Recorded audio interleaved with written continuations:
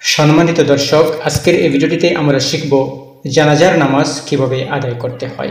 এই বিষয়টি নিয়ে ভিডিও তৈরি করার জন্য অনেক ভাইরা আমার কাছে অনুরোধ করেছেন। তাই সেই ভাইদের অনুরোধে আজকের এই ভিডিওটি আমি আপনাদের জন্য নিয়ে আসলাম। তাহলে চলুন শুরু করি।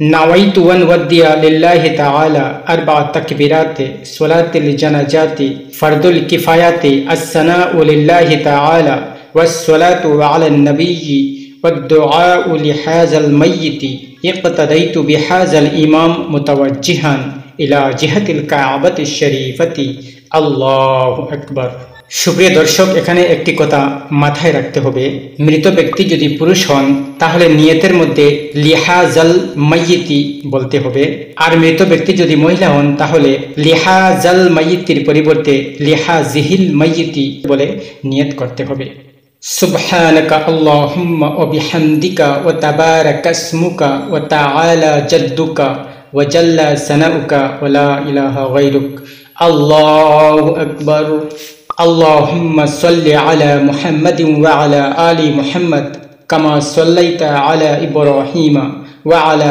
آل إبراهيم إنك حميد مجيد. اللهم بارك على محمد وعلى آل محمد كما باركت على إبراهيم وعلى آل إبراهيم إنك حميد مجيد. الله أكبر. اللهم اغفر لي حينا وميتنا وشاهدنا وغائبنا وصغيرنا وكبيرنا وذكرنا وأنسانا اللهم من أحييته منا فأحيه على الإسلام ومن توفيته منا فتوفاه على الإيمان برحمتك يا أرحم الراحمين সুপ্রিয় দর্শক এখানে একটু লক্ষ্য করবেন মৃত ব্যক্তি যদি ছেলে শিশু হন তাহলে এই দোয়ার পরিবর্তে এই দোয়াটি পড়তে হবে। দোয়াটি হলো, আল্লাহুম্মা জাআলহু হুলানা ফারতাও ওয়াজ আল হুলানা আজরাও ওয়া জুখরা আল হুলানা শাফিয়াও ও মুশাফাআ আর মৃত ব্যক্তি যদি মেয়ে শিশু হন, তাহলে এই দোয়ার পরিবর্তে এই দোয়াটি পড়তে হবে। আল্লাহ আল্লাহুম্মা জাআল হালানা ফারতাও ওয়াজআল হালানা আজরাও ওয়া জুখরা ওয়াজআল হালানা শাফিয়াতাও ওয়া মুশাফাআ আল্লাহু আকবার।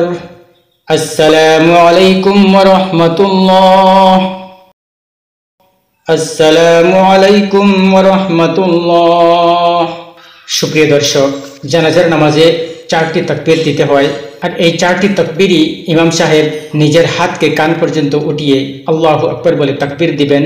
আর আমরা যারা মুক্তাদি ইমামের পিছনে দাঁড়িয়ে নামাজ আদায় করছি, আমরা চার তকবিরই উচ্চস্বরে না দিয়ে নিম্নস্বরে আমাদের চার তকবির পড়তে হয়। আর শুধু ইমাম সাহেব কানের লতি বরাবর হাত উঠাবেন, আমরা শুধু প্রথম তকবিরে কান বরাবর হাত উঠিয়ে তাহারিমা বাঁধব, তারপরের তিন তকবিরে আমাদের কান পর্যন্ত হাত উঠাতে হবে না। আশা করি বিষয়টি আপনারা ভালোভাবে বুঝতে পেরেছেন।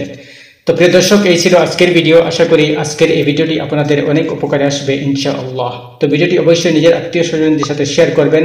আর ভিডিওটিতে একটি লাইক দিবেন। আর চ্যানেলটিকে সাবস্ক্রাইব করে পাশে থাকবেন।